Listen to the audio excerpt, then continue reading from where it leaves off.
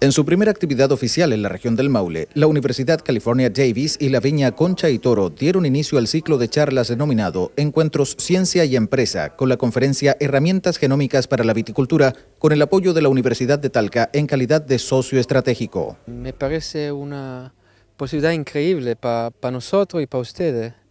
de colaborar juntos en proyectos que tienen un interés gigante para la industria de, de Chile y para la industria de California también. Y, el, y podemos también complementarnos en, la, en, la, en los expertise de, de, de, nosotros con lo, con lo de los científicos de Chile también. Formar parte de este consorcio con otras dos importantes universidades del país, una de Santiago, otra del norte, y con dos grandes empresas, ¿no es cierto?, como son Concha y Toro, donde estamos hoy día, y la Viña San Pedro, es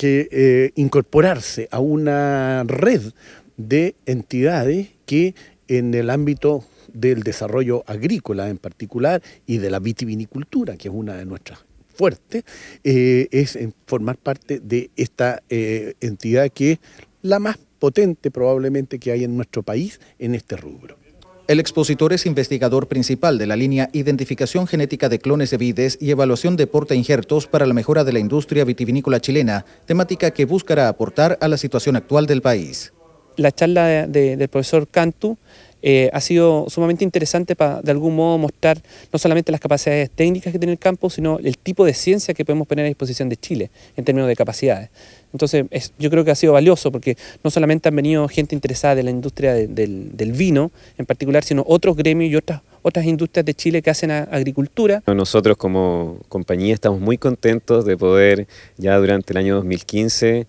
eh, tener abiertas nuestras puertas a la comunidad y en particular por cierto, a la Universidad de Talca, a la Universidad de Davis, que son nuestros partners estratégicos en el desarrollo de importantes proyectos de investigación e innovación y por lo tanto hoy este seminario que ha dado el profesor Darío Cantu, especialista en el área de genómica, ha sido una más de las actividades que esperamos tengan lugar acá y que nos permitan seguir vinculándonos con la comunidad y el medio. UC Davis mantiene una alianza estratégica con las viñas Concha y Toro y San Pedro, junto a la Universidad de Tarapacá, la Universidad Andrés Bello y la Universidad de Talca.